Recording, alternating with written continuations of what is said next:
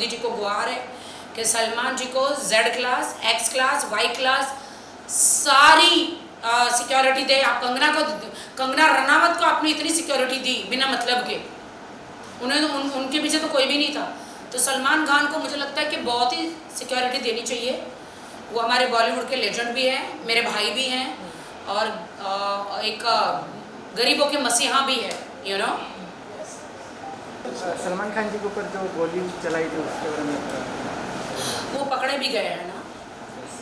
हाँ that is very sad कि मैं बस एक ही हाथ जोड़ के बोलूँगी सलमान भाई को कि वो बालकनी में आके कभी ना खड़े यू नो ईद में और त्योहारों में आते हैं ना तो उनके फैंस के लिए है ना मुझे लगता है कोई भी बड़ी होटल बुक करके वहाँ पे आ सकते हैं जहाँ सिक्योरिटी हो।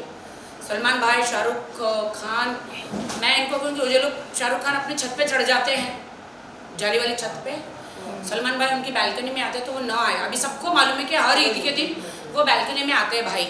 तो भाई, अभी वो बैल्कनी में मत आओ, क्योंकि बैल्कनी के बाहर ही उधर निशाना हो गया ना। अरे बाप रे, मैं बहुत रोई हूँ बताया मुझे जब पता चला, बहुत रोई मैं दुबई में थी। तो भाई भाई सिर्फ़ बालकनी में ना आए, बस।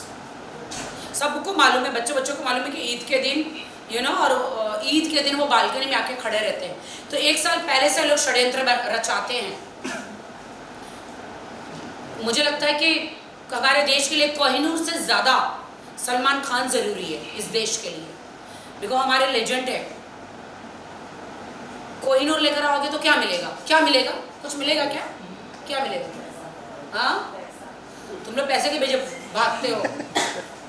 नहीं हम सलमान जी हमें सुरक्षित चाहिए मोदी जी को गुहार है कि सलमान जी को Z class X class Y class सारी सिक्योरिटी दे। आप कंगना को कंगना रनावत को आपने इतनी सिक्योरिटी दी बिना मतलब के। उन्हें तो उन, उनके पीछे तो कोई भी नहीं था। तो सलमान खान को मुझे लगता है कि बहुत ही सिक्योरिटी देनी चाहिए। वो हमारे बॉलीवुड के लेजेंड भी हैं मेरे भाई भी हैं और आ, एक गरीबों के मसीहा भी है यू you नो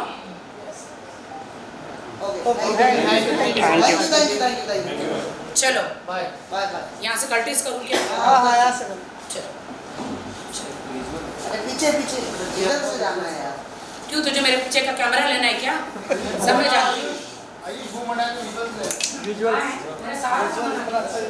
उधर नीचे नीचे नीचे। अरे आओ यार